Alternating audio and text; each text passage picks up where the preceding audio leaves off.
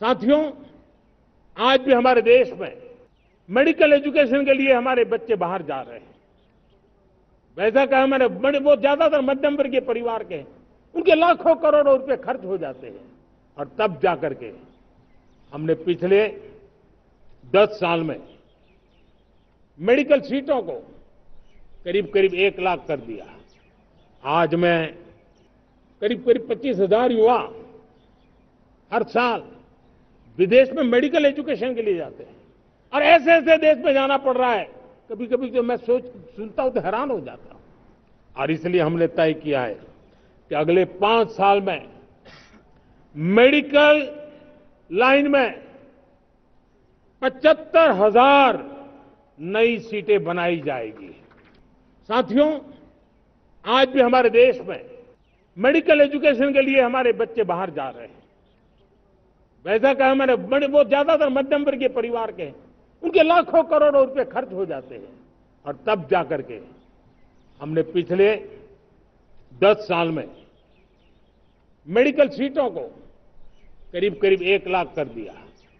आज मैं करीब करीब पच्चीस हज़ार युवा हर साल विदेश में मेडिकल एजुकेशन के लिए जाते हैं।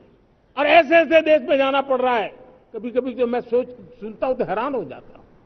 और इसलिए हमने तय किया है कि अगले पाँच साल में मेडिकल लाइन में पचहत्तर हज़ार नई सीटें बनाई जाएगी।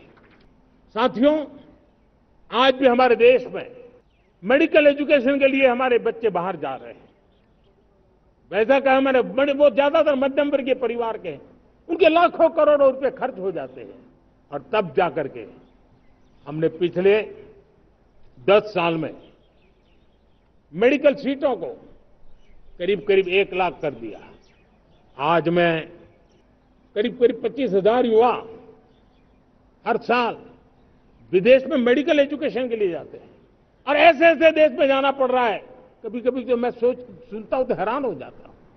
और इसलिए हमने तय किया है कि अगले पाँच साल में मेडिकल लाइन में पचहत्तर हज़ार नई सीटें बनाई जाएगी।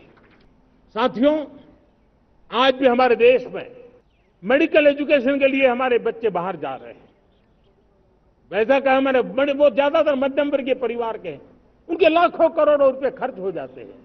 और तब जाकर के हमने पिछले दस साल में मेडिकल सीटों को करीब करीब एक लाख कर दिया।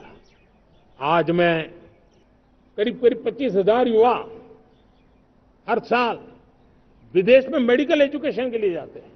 और ऐसे ऐसे देश में जाना पड़ रहा है। कभी कभी जो मैं सोच, सुनता हूँ तो हैरान हो जाता हूँ। और इसलिए हमने तय किया है कि अगले पाँच साल में मेडिकल लाइन में पचहत्तर हज़ार नई सीटें बनाई जाएगी।